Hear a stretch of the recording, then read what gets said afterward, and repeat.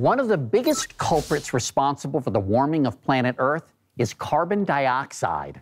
Side note, another has been said to be hairspray, which I'm sorry to say I'm using less and less of. I mean, the ozone layer isn't the only thing that's thinning up top. But let's pivot back to the carbon. Now, one new technology is set to help prevent a climate fail with a massive carbon inhale.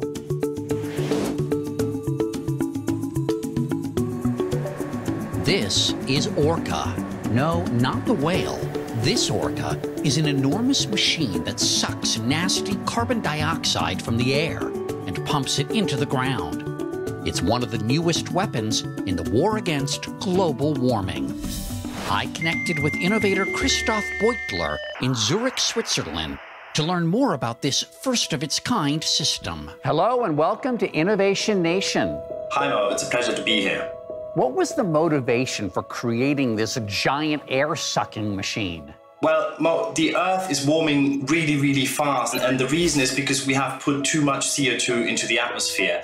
We need to first and foremost reduce emissions, and the emissions that are unavoidable, we have to then take out of the atmosphere, and that's the reason behind Orca. Surrounded by mountains in Iceland, Orca, which means energy in Icelandic, is what's called a direct air carbon capture facility.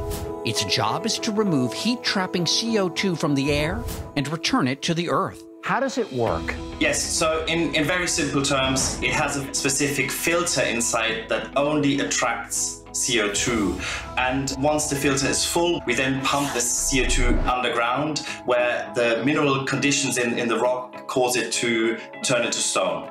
How much carbon dioxide can it remove from the air? Orca is eight collector containers that are each the size of a 40 foot shipping container. Together, remove 4,000 tons of CO2 from the atmosphere. That's just under 9 million pounds per year, a tiny fraction of what's needed to stop the planet from warming, but proof of Orca's ambition to help the world reach zero emissions. We're already planning our next plant, which is 10 times the size of Orca, and the one after, which will be 100 times the size. Thanks for joining us and clearing the air. Thank you. It's been a pleasure, Mo.